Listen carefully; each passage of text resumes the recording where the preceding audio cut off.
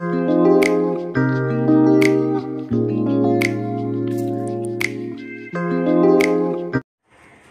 বন্ধুরা, cooking studio by me and my sister চ্যানেলে সবাইকে জানাই স্বাগত। কুকিং স্টুডিওর আজকের রেসিপি পাউরুটির কাকলেট। সন্ধ্যেবেলা চায়ের সঙ্গে বা ইফতারেও এই পাউরুটির কাকলেটটা রাখা যেতে পারে। ধরুন তাহলে দেখে নেওয়া যাক এই পাউরুটির কাকলেটটা কী করে বানানো যায়। পাউরুটির কাকলেট বানানোর জন্য আমি এখানে আট পিস পাউরুটি নিয়েছি। আর পাউরুটিগুলোকে প্রথমে টুকরো টুকরো করে কেটে নিচ্ছি।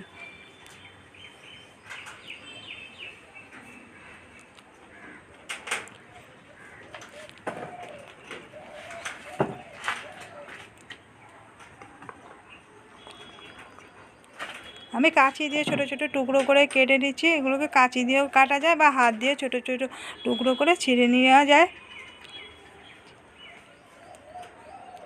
বাকিগুলো আমি এরকমভাবে হাত দিয়ে ছোট টুকরো করে ছিঁড়ে নিচ্ছি।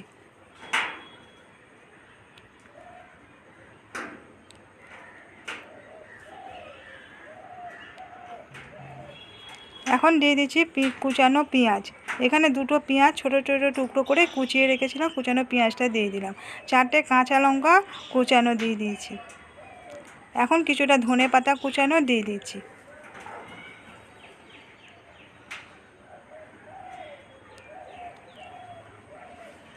নুন দিয়ে দিচ্ছি স্বাদ মতো।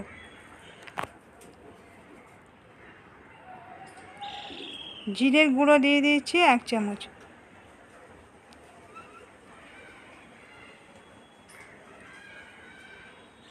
গরম মশলা গুঁড়ো দিলাম হাফ চামচ। আদা বাটা দিয়ে দিচ্ছি হাফ চামচ।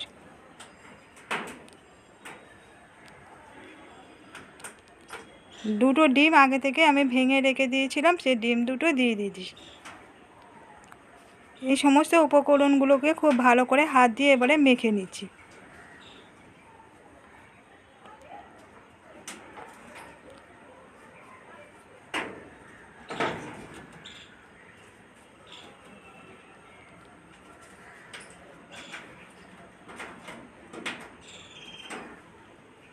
আর এই পাউরুটি কাঁকড়েটার মিশ্রণে জল দেওয়ার প্রয়োজন নেই, যেহেতু ডিম দেওয়া হয়েছে, ডিম দিয়ে মাখা হয়ে যাবে। এখন এই পাউরুটিগুলোকে কিছুটা করে পুর নিয়ে কাকলেটের আকারে আমি গড়ে নিয়েছি।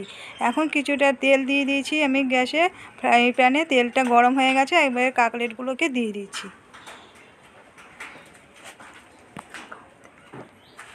ভাজার জন্য আমি রিফাইন তেল দিয়েছি এখানে, আর গ্যাসের ফ্লেমটা মিডিয়ামে রেখে এই কাকলেটগুলোকে ভাজা করে নেব। প্রথমে গ্যাসের ফ্লেমটা হাইতে করে তেলটাকে খুব ভালো করে গরম করে নিয়েছি, তারপরে আমি মিডিয়ামে করে দিয়েছি। একটা সাইড ভাজা হয়ে গেছে, এখন আমি উল্টিয়ে দিচ্ছি।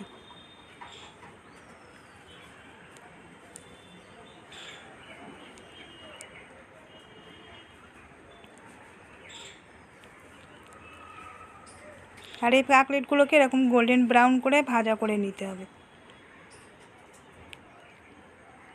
এই কাকলেটগুলো আমার ভাজা হয়ে গেছে, দু সাইডে আমি উঠিয়ে নিচ্ছি।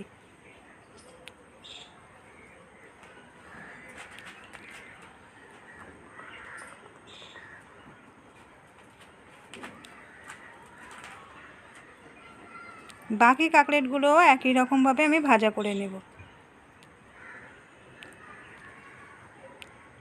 পাউরুটি অনেক সময় অনেকে খেতে চায় না, বিশেষ করে বাচ্চারা পাউরুটি খেতে চায় না। বাচ্চাদেরকে যদি এরকম কাকলেট বানিয়ে দেওয়া যেতে পারে, তাহলে ওরা চটপট খেয়ে নেবে।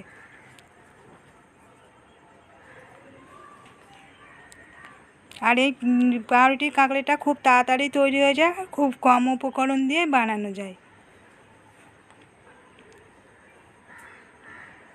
এই বাকি কাকলেটগুলো আমার ভাজা হয়ে গেছে, আমি এবারে উঠিয়ে নিচ্ছি।